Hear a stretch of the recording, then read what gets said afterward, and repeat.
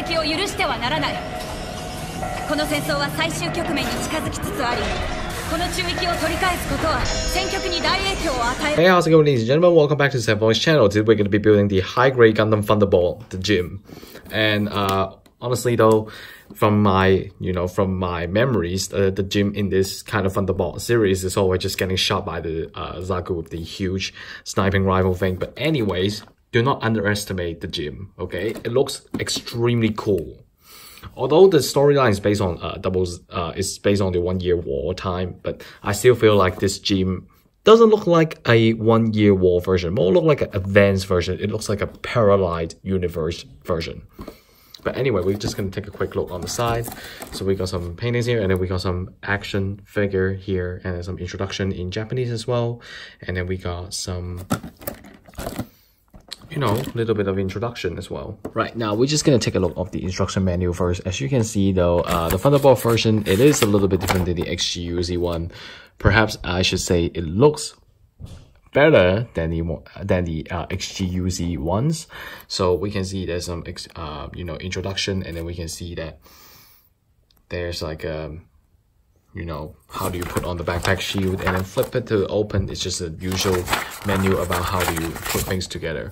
And at the back here is the most interesting part. It does contain the um, stickers like the RG or the Origin series, and then um, there's like the weapon layout for you to kind of look at it and this is the introduction in Japanese. Okay, so we can take a look first. So the C runner is mainly the um the beam rifles, the cannons, and then we got a piece of shield, and then we got the um backpack parts, some type some type of backpack parts, and then we have some torso parts here, and then we have um I'm not really sure, but this is like the waist part here. Uh, the E1 part is mainly the thrusters and the shield logo, and as well as the torso, uh, the torso yellow part. And then the G runner, we can see there's the joint for the legs, for the arms, and overall we can see this kind of texture with, um, you know, with um, like cloth texture, cloth texture, and then we have a shield connector as well.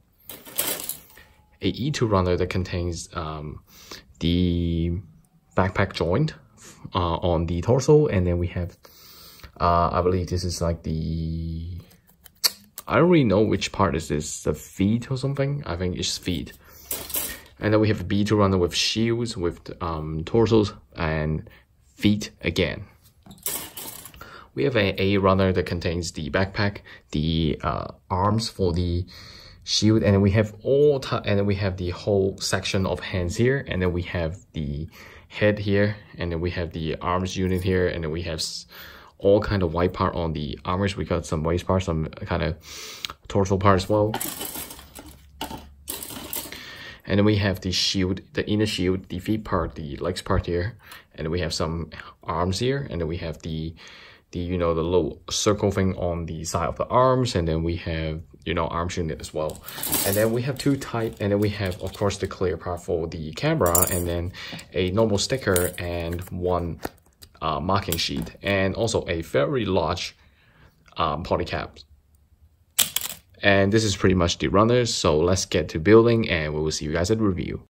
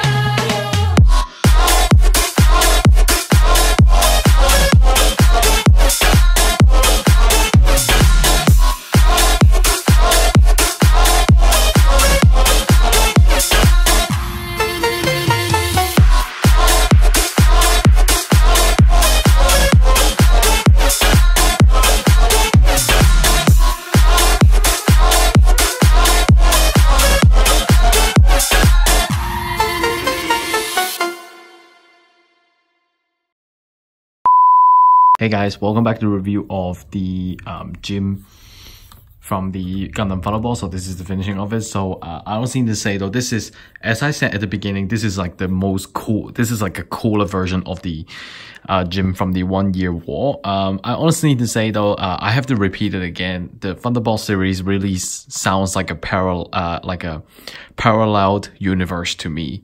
And it, you know, it is the same design like the one year war gym, but like you know the overall feeling and the overall equipment it just make me feel like it's like a couple years later but anyways this is not the pop topic. So um overall the finish is pretty good and um there there's of course stickers being used. Basically the yellow part on the waist and the legs is all of them are stickers, so which is a part that that I am a little bit of disappointed because I understand the waist should be using the stickers because it's so small and cannot be, you know, easily um, making a color separation between it. But the legs though, there's a thing called that, you know, they can, they could have just used the Modern XG or, you know, the RG type of uh, color separation, just get one piece here and then just put the white piece over the yellow piece and then, you know, do the color separation thing. But anyways, this is another topic that's not really the point. So, you know, let's start with the head again. So the head can lift up and then, you know, can rotate around as well. Uh, but, you know, not really much to talk about. It's just a normal gym head like the other gym variations. Um, so the front camera and the back camera of the head, which you cannot see is right here. Uh, they both are stickers. So that's pretty much the head. So the chest here, um, I must tell you that you have to do some color, uh, you, you have to get your marker and then, you know, kind of color the yellow piece here. It is very important and it's showing you a lot of detail. If you don't use the marker to, you know, kind of paint the little holes between it, it doesn't look very good. Um, so my suggestion is get a market and then kind of mark it. So the color separation at the torso is doing a pretty good job. Um, as you can see here, it is a pretty normal standard gym torso. There's not much to talk about, but the logos on it, uh, there's three logos on it. So you can you know, sort of call it a detail. Uh, the chest is not really much thing to say about, but uh, I must say though, I'm impressed that they give you a uh, two different colors separation on the chest here. One is the gray part here and one is the yellow part here. So let's talk about the arms. So the arms can lift up, the arms can bend, and then, you know, can move 360, no problem. And then, you know, it's a normal thing that it does go with a polycap for you to move for the front. The shoulder piece is an individual piece that you can move. And then, you know, the arms down here can rotate as well. And, you know, right now they, uh, each each hands are holding different weapon. This side's a normal beam rifle and this side's a beam cannon thing. Um, but anyway, that's pretty fine. Uh, the thing that I really want to say about is, um, is they doing a pretty good job by giving you a separate, separate color, separate pieces on the thrusters. And the thrusters is actually pretty easy to sand down the, sand down the plastic. So, you know, you won't get like a very irregular circle. And I think that is just pretty good. And overall, you might ask why the joint looks a bit weird. Like it's not as clean or smooth like the other joints on the Gunpla. It's because, you know, the Thunderbolt actually have a pretty stupid thing. And excuse my language, it's actually pretty stupid. The Thunderbolt got a pretty stupid thing is, uh, they put a cloth over the joint of the Gunpla is for what uh, blocking the particles in space. I believe that's the reason. Uh, but personally, I don't really like that idea. And now moving down to the waist. So the waist, uh, all the yellow part that you see, that you will see on the waist is actually all stickers. So no color separation. Uh, the size skirt here is the thing that I don't like. It is a ball joint. It's very easily to pop out. Uh, the front skirt, you have to cut it in half. So it, it does give you a individual movement. So I really like that idea. Uh, the whole upper body can turn around uh, 360 as well is pretty fine. Uh, the legs can kick to the front on a pretty high angle, kick to the back, of course not happening. And then, you know, bend a certain angle like this during there is a little bit of interruption on the joint design. And as you can see here, we have a separate piece of color that being put on on the side of the knees. So I pretty like that idea. And again, you know, the joints on the Gunpla is using that kind of cloth um, texture and I don't really like it as I mentioned. Um, so on the side of the legs, we can see some yellow part here is actually by stickers. So, and it's pretty easy to scrub off. So, um, my my recommendation to you is uh, try to keep your hand sweat out of you. Try to keep try, try to wash your hand if you have a lot of hand sweat because the hand sweat can actually get the stickers off and not really recommended and the legs down here there's not really much. And then uh, i mean the feet the feet down here is not really much to talk about. It's a ball joint you can move up and down you know side to side as well. And then we have a one little extra piece of armor here that you can move by pushing it.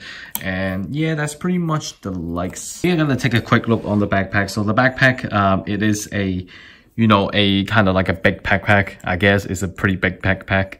And, um, and we have five thrusters here that you need to repaint the outside to gray. I believe the outside of the thrusters should be gray. It's not, it's not a whole yellow.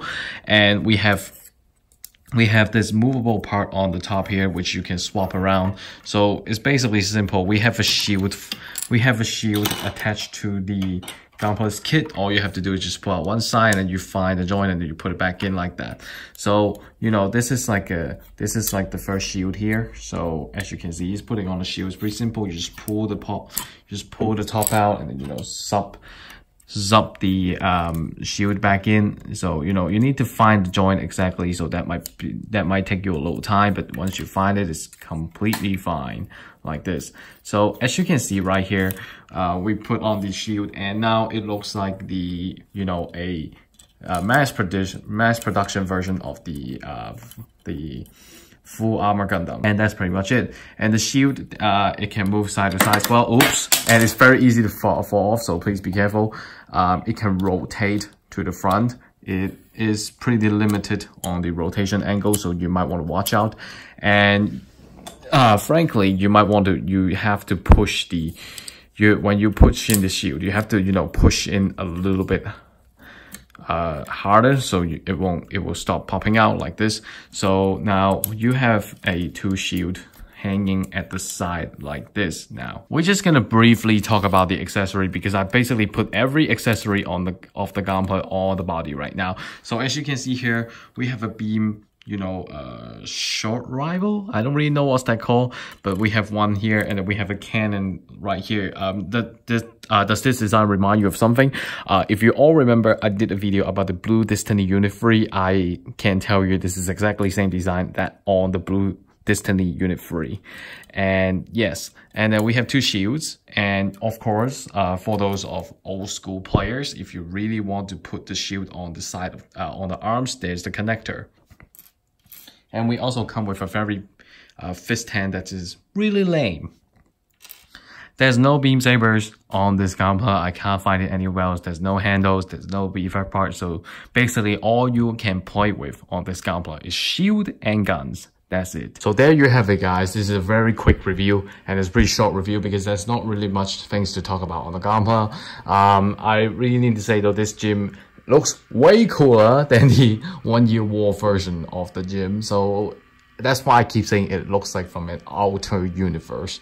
But uh, but uh, I'm gonna say though, if you you know looking for a kit that will uh, that you can build quickly and have fun with it, I'm definitely recommending this one.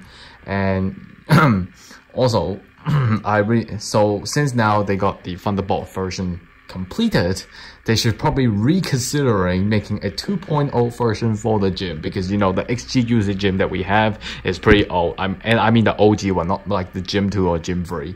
Um, they should they should probably you know take take a look you know back in the very early days and then you know pulling that old design from 1999 back to 2090 and I really wish they have a revived version for the original gym. uh, that's pretty much it. So uh, thank you for watching. Drop a like on my videos and subscribe to my channel. And I'll see you guys in another Gunpla review. Goodbye.